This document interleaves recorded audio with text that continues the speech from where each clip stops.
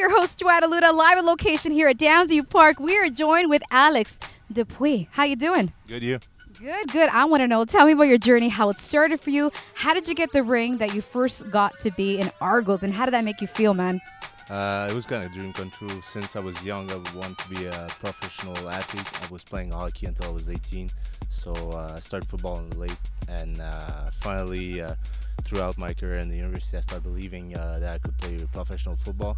And uh, when I got the call from the Argos, we were all like the, my university team together, uh, w- lo- looking at the draft and uh, watching uh, my other teammates getting drafted before me.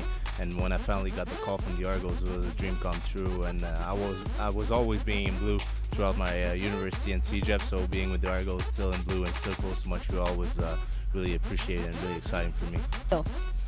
Well, um, that's that's dating back to uh, coming out of college and going to the NFL first, and that was uh, quite the experience. Um, like I said, very unexpected. I just gave it a shot and ended up getting a free agent deal to go to Jacksonville.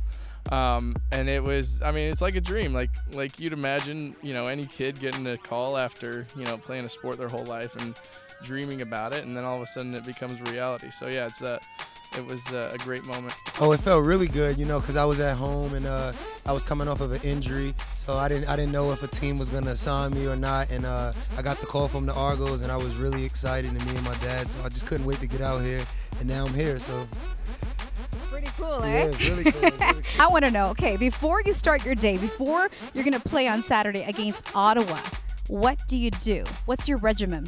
Uh, I'll go eat breakfast, just relax, go back on my plays, and after that, I'll take a little nap, hydrate myself, and just uh, be ready for the game. Take a coffee when I woke up from my nap, and just uh, get ready. Um, it, it really starts like two days before the game. I mean, obviously we're preparing now, but the, as far as the personal stuff, it's just a lot of hydration and rest and uh, good meals.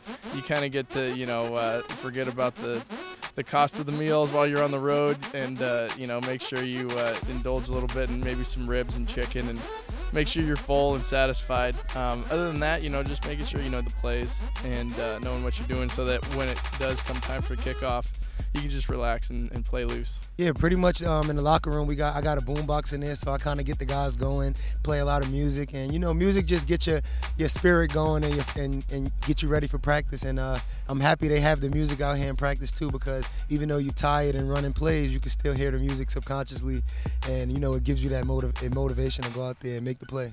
I want to know since Argos does so much for the community, they give back so much to the community. What does it mean to you giving back to the community?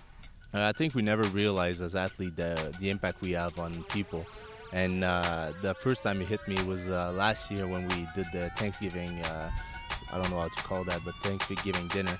And uh, just to see like little kids like wearing like a, it was a maple leaf jacket. I could see myself when I was uh, younger, like wearing a jacket from the Montreal Canadian or something like that and seeing them like having to ask for charity to go eat when I never had to do that because I was fortunate enough to be in a family that was wealthy enough to eat it each day really touched me.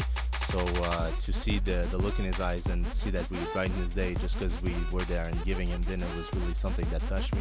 And uh, like I said, I called my, my parents after that and told them thank you for the, the chance I had to uh, food and table. That's always a fulfilling experience. You know, I wish I did it more in my free time, um, but it does help. I'm glad that, that the Argos do a, a good job of putting uh, together community events, um, whether it's serving food uh, on Thanksgiving or you know just finding some some kids that may need a, a good talking to from some role models. Oh, it means a lot. Um, I do a lot of charity work with um, a lot of Pop Warner teams in, in the summertime. I do like coaching and stuff like that, just to be around football and watch the young guys because I was I was once them and letting them know that you know if I can do it, you definitely can do it. So it means a lot to me, and um, that's something that I look forward doing to. That's something that I look forward to doing every year.